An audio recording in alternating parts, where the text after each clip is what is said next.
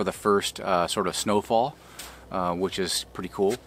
Um, we did not stay the night in the cabin uh, when the snow was falling. Unfortunately, we were talking about it.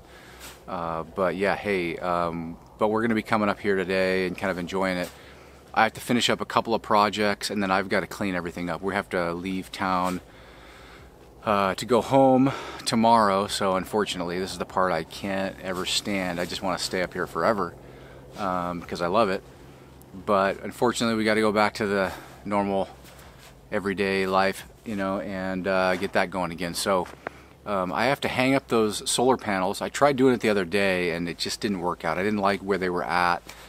I've made the decision to put them both up high. I realize that that's not ideal in the summertime, but right now when we have snow coming down, um, snow is going to blow right in on them if they're not high enough. And sometimes the snow can get several feet deep. Uh, we've had this cabin, we have a, we have had a trail cam on this cabin before and the snow's gotten up to, you know, three, four feet deep. So um, it'll just bury them unless they're high up enough.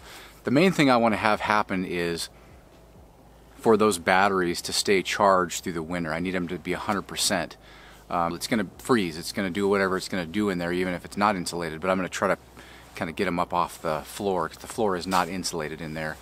Uh, we're going to try to come up here around Christmas time again. So it shouldn't it shouldn't be, you know, it should be another month and a half. We'll we'll see how it goes. We'll see if it's still holding up. The nice thing about that is if we can't get up here and we can only say hike in, well, we'll have batteries, we'll have solar, we'll be able to turn the lights on, get the fire going, and, and run it for a couple hours at least. And, uh, you know, we won't need to bring a generator, and that's going to be pretty cool. That's pretty much it. We're going to be uh, just enjoying the day, uh, the last day up here.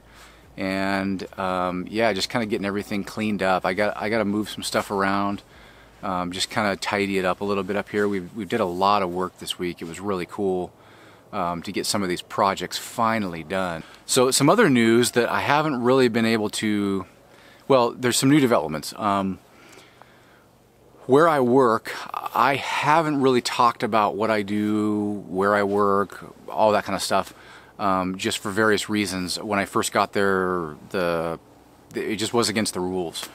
Um, so I've always been, I've always kept those two things kind of separate, like what we do here on the channel and what I do at work and um, you know just to just to keep it above board. I'm, I'm pretty sensitive to that kind of stuff. Uh, some things have changed actually. I just got almost like I'd say maybe like the yellow light, maybe green light. Um, I want I, I'm always very much the I'm always the kind of person that says like you got to get the paperwork done, sign on the dotted line, and then we'll do it. But um, they've sort of given me the green light almost. Uh, the green light with some you know slight rules or whatever, which is understandable, to talk about more what I do uh, for them. And I think it's cool because it's something I've avoided talking about. If you're keen and you've observed, you know, my apparel and kind of what I wear and stuff, you can probably figure out what I'm doing, where I work, and all that kind of stuff. I'm not super secretive about it, but I am. I don't talk about the job. I don't talk about any of that. But the, the cool thing is that it ties in almost directly to this whole uh, self-reliance kind of thing. And there's a reason I went to work for that company. So um, I really enjoy it there. It's a super fun company. I wish it was like right here next to the cabin. That'd make it like even better, but it's not possible right now. So um, they've almost given me the green light to talk about what I do, and I think that'd be super fun because I think the the viewers of this channel. Um, and the reach that we could have uh, with that type of information would be pretty fun. Hey, if they get that stuff uh, worked out and, and all penciled in, and it looks like something that would be beneficial to them. It's got to be beneficial to them uh, as a company, which is completely understandable. Um, if it's too weird for me, I won't do it. Uh, but um, if they give me the green light to start talking about some of this stuff, that's going to be, you know, that's going to be really some fun stuff.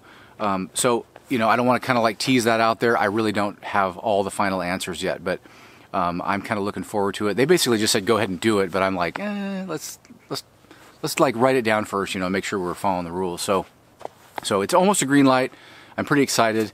Um, and they're pretty excited about it. So uh, just stay tuned for that. It's not going to happen this trip. I'm, I'm not going to show anything or say anything um, in detail, but um, it'll give us some content and some other future for some future videos that you're going to see here if it all goes good. So um, I'm pretty excited about that. That really kind of adds to the whole flavor of things here and the whole content and and what we're trying to do here with preparedness and self-reliance. It really ties in nice. So um, that's some little bit of news. Um, what else? Um, yeah, we're just gonna wrap it up here. I'm gonna get everything going, and unfortunately, uh, yeah, we gotta gotta wind this down.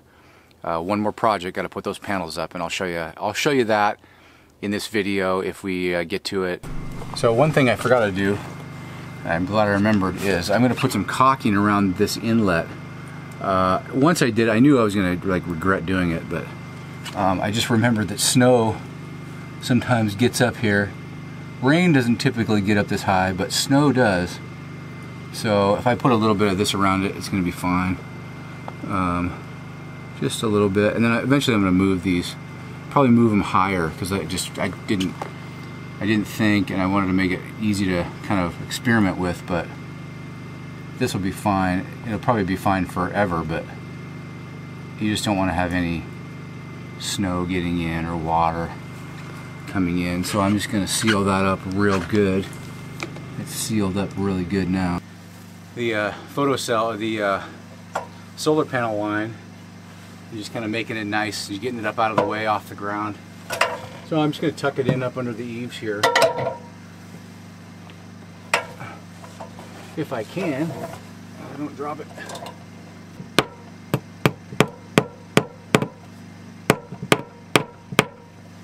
I kind of keep pulling this stuff up and just make it nice and clean and get it up out of the way.